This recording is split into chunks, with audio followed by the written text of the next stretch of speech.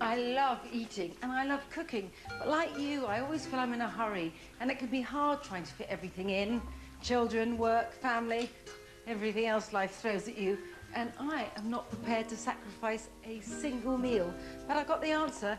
In a word, it's express.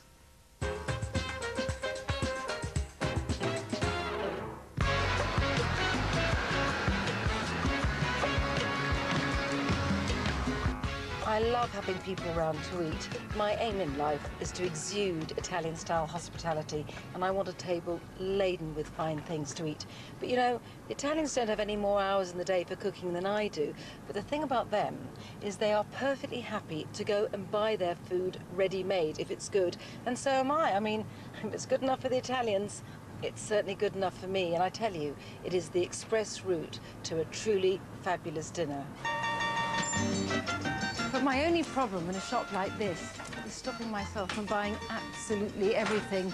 There are five of us eating tonight. I'm going to cook one thing, which is my marsala honey pears with gorgonzola, and I must go and get some of that. But first, I'm going to plunge myself in the antipasti department. Hello? Buongiorno. Buongiorno. Due etti, those and those with the chilies, please. Sì, signora. Carciofi alla romana e spinaci.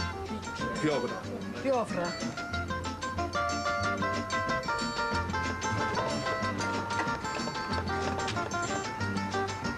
Grazie. Grazie Buonasera. lei, thank you. You see, dinner is practically served.